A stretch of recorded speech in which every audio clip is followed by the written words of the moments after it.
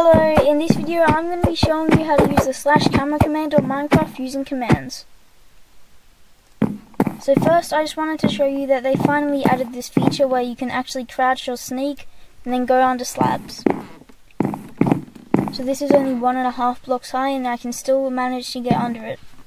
This used to only be a, a feature in Java but now it's on Bedrock as well.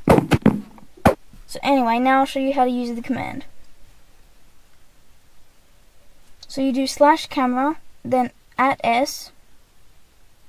So at s is just yourself, and then set. Then you do Minecraft, and you can choose which one. So free does this. Then there is also there's also these. So first person, third person, and third person in front. So here is first person.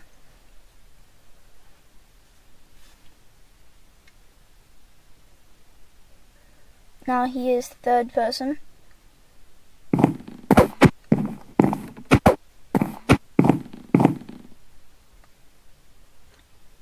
Like this.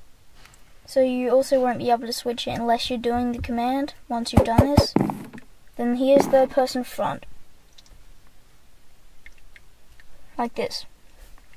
And then to get rid of all of it without having to go into your game settings, you can just do slash camera at S, then type clear, and it'll set it back to normal where you can easily switch it using your hotkey.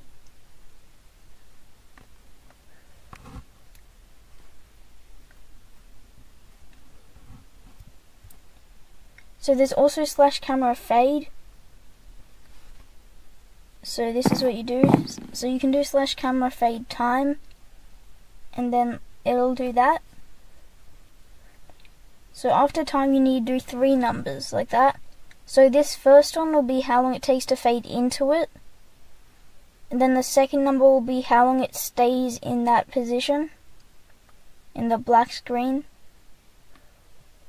Then the third one is how long it takes to fade out. So I'll just do 1, 2, and 3 to here, that's what it'll look like.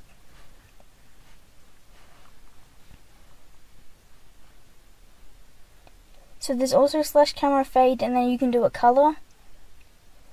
So the color, the numbers that you do after this will change the color, the color, so the red, green, and blue values, like this. So you can change them. So if you do 0, 100, then 0, it'll make it completely green. And then if you do 0, 0, 100, it'll make it completely blue. Like that. And yeah, so I'll make it part 2, but for now, that's it. Please subscribe. Bye.